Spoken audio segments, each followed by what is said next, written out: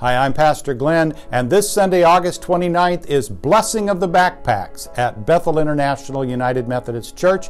It's for everyone, for anyone headed to school this fall students, college students, online students, teachers, staff, parents. Just bring your backpack to church. And here's what we want you to know you are loved. On a good day at school, on a bad day at school, on a day you don't even go to school, you are loved. Sarah will bless backpacks during the worship service and then again after the worship service when we're going to have popsicles and open up the playground for families from the church, from the preschool, and from the community. Sarah's also going to share some ideas of how we can support our church's preschool, build relationships with the families who will be here every week.